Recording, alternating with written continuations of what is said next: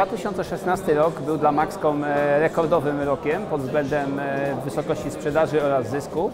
Odnotowaliśmy sprzedaż na poziomie 109 milionów e, złotych, przy zysku operacyjnym na poziomie 17 milionów i zysku netto 12 milionów 200, ponad 12 milionów 200 tysięcy złotych. Także najlepsze wyniki w naszej historii jak.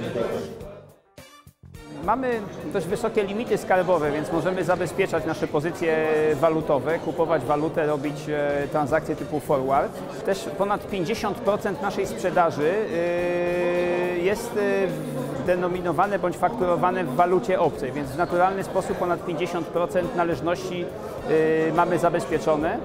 Także otwierając akredytywy, zdecydowana większość z nich jest zabezpieczana w terminie ich otwarcia. W roku 2016 y, około 21% y, przychodów pochodziło z zagranicy i niecałe 80% y, z rynku krajowego. W tej chwili ta struktura stopniowo się zmienia z kwartału na kwartał, rośnie udział eksportu w naszej sprzedaży. W tej chwili w Polsce posiadamy około 40% udziału w rynku w kategoriach telefonów klasycznych. Mam na myśli tutaj telefony komfortowe, tak zwane seniorskie czasami, telefony wzmocnione oraz telefony klasyczne z klasyczną klawiaturą. Mamy także dominującą pozycję, jeśli chodzi o operatorów telekomunikacyjnych we wcześniej wymienionych kategoriach. Sprzedajemy przede wszystkim przez operatorów telekomunikacyjnych, to jest około 50% naszej sprzedaży w całości w kraju i w zagranicy.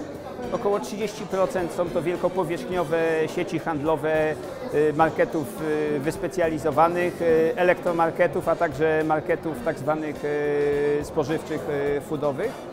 Około 20% są to dystrybutorzy, którzy pokrywają rynek e, mniejszych e, sklepów e, zajmujących się handlem elektroniką, sklepów telekomunikacyjnych.